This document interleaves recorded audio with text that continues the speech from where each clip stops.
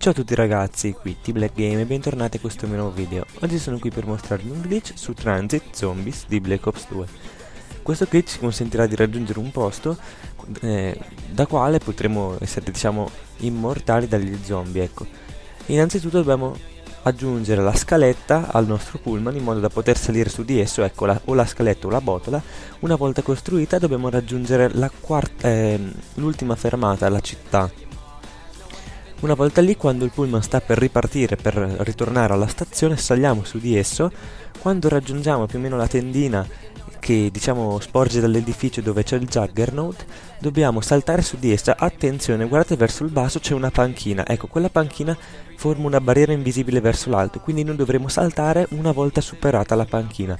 Una volta saltato saremo praticamente eh, all'interno della tendina, da sotto eh, c'è il rischio che comunque gli zombie ci prendano, però se vi posizionate bene riuscirete diciamo ad evitare ciò. Quindi ragazzi, se il video vi è piaciuto vi invito a lasciare un mi piace, qui T-Black Game al prossimo video.